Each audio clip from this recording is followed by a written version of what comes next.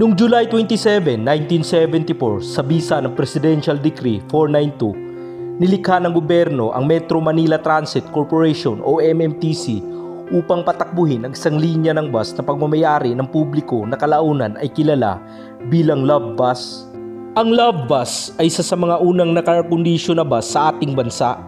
Isa itong ideya ni dating First Lady Imelda R. Marcos na isang gobernador ng Metro Manila noon. Sinasabing ito ay isang revolusyonaryong sasakyan nang ito ay unang inilunsad. Pininturahan ng asul at may patakaran na walang tatayo sa pasilyo. Ang unang terminal ng Love Bus ay sa Escolta, Maynila. Mula doon papunta ang bus sa Pelqua pagkatapos ay gumawi ng U-turn patungo sa S Avenue at Alimol Terminal.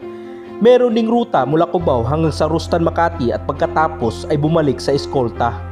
Sa panahong iyon, idiniklara ni Pangulong Ferdinand Marcos na maging patakaran ng Estado na makatuwiran at isama ang mga serbisyo sa transportasyon ng publiko upang makamit ang mga sumusunod na layunin. Una, upang isama ang mga pagpapatakbo ng pampublikong transportasyon sa Metropolitan Manila.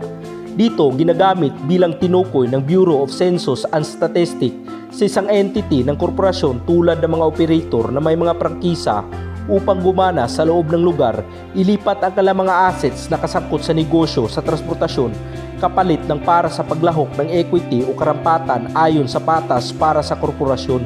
Pangalawa, upang may taguyod at mapatakbo ang isang isinamang sistemang pampubliko na transportasyon sa Metropolitan Maynila at ang mga katwiran nito ay ang Una, katwiran sa paglalaan ng ruta at magbigay ng wastong balanse ng serbisyo ng commuter sa lahat ng ruta. Pangalawa, epekto ng mga ekonomiya sa pagpapatakbo at mga overhead na pasilidad at suportang logistic. Pangatlo, bumuo ng isang matibay sa pananalapi at mahusay na operasyon na Metropolitan Transport Firm.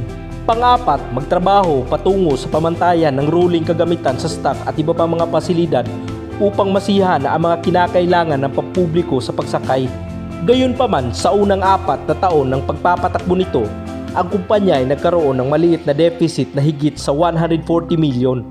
Ang kumpanya ay nagdusa rin mula sa matalim na pagbaba ng bilang ng mga bus sa pagpapatakbo sa pagitan ng 1983 at 1987.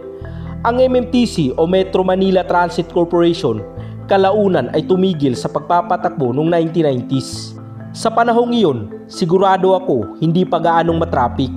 Hindi masyadong madami ang bus na nasa lansangan. Biruin mo sa panahong natatag ang love bus, naka-air condition na siya, di mas lalong komportable at maginhawa ang pagsakay. Nang naipakilala ito sa publiko, mas lalong naging simbolo ito ng modernisasyon. Ito ang isang naging parte na ng ating kasaysayan. At bago pa natin nalaman ang iba't ibang mga bus nag-ooperate dito sa ating bansa, meron na palang bus noon na pag-aari ng publiko. Ito ang naging batayan sa patas at organisadong pag-usad para sa mas mahusay na pagserbisyo. Isang mas epektibong sasakyan na sumasalamin sa pag-unlad ng sistema sa pampublikong transportasyon. Hanggang dito na lang. At huwag kalimutan na mag-like and subscribe para palagi kang updated sa mga bagong videos na i-upload ko. Paalam!